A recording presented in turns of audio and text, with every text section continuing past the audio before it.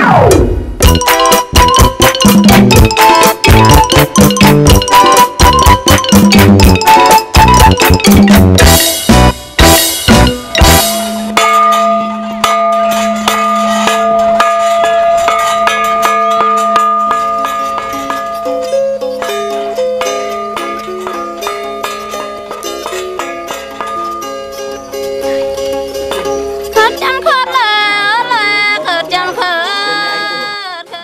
នៅក្នុងថ្នាក់រៀនមួយនេះ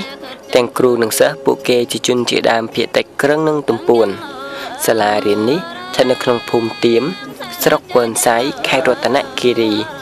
តាំងពីដើមរៀងមកជនជាដើមភាគតិចពុំដែលមានអក្សរផ្ទាល់ខ្លួនរបស់គេទេ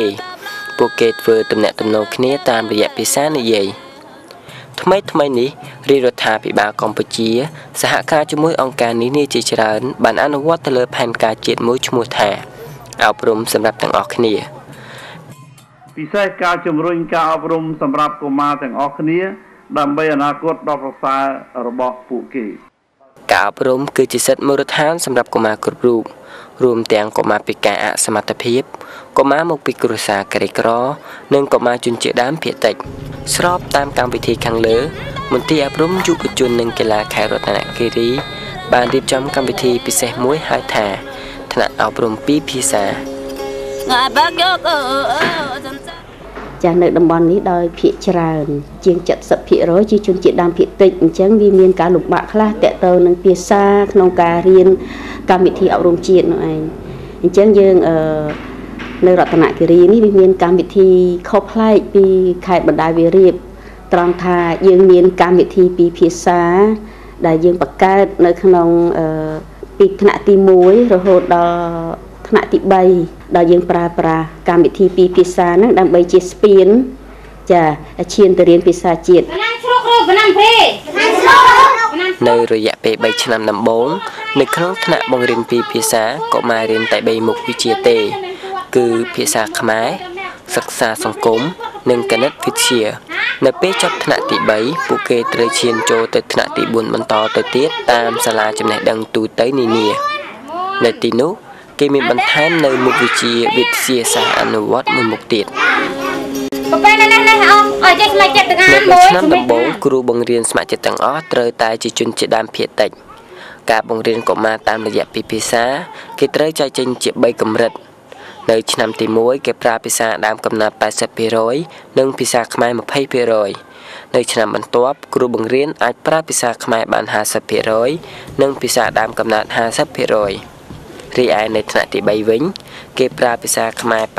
80%និងភាសាដើមកំណើតតែ20%ប៉ុណ្ណោះចាប់តាំងពីថ្នាក់ទី4ឡើងទៅ ពួកគេអាចចាប់ផ្ដើមរៀនភាសាខ្មែរទាំងអស់បានហើយមកហើយទេដល់វិញណា ថ្នាក់អប់រំពីរភាសាបានបង្កើតឡើងនៅខេត្តរតនគិរីតាំងពីឆ្នាំ2001មកម្លេះបច្ចុប្បន្នកម្មវិធីនេះពង្រីកបានចំនួន6ភូមិក្នុងស្រុកចំនួន6ក្នុងជំហានដំបូងមន្ទីរអប់រំយុវជននិងកីឡាខេត្តរតនគិរី បានសាកល្បងជាមួយកុមារជនជាតិដើមភាគតិចក្រឹងនិងទំពួនរីឯលទ្ធផលជាក់ស្ដែងមានដូចតទៅខ្ញុំរៀន4ឆ្នាំហើយសរសេរចេះគិតលេខចេះគូសរូប ចេះអានហើយចេះនិយាយតិចតួចដែរ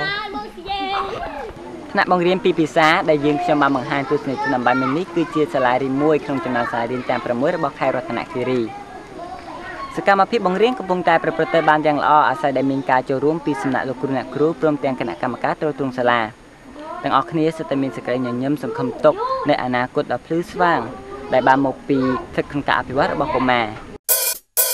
ក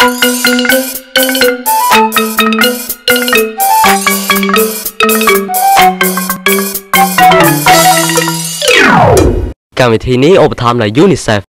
ការឧបត្ថម្ភរបស់លោកអ្នកពិតជាធ្វើឲ្យកម្មវិធីយុវវ័យថ្ងៃនេះមានដំណើរការជារៀងដរាប Your donation keeps the Youth Today program alive.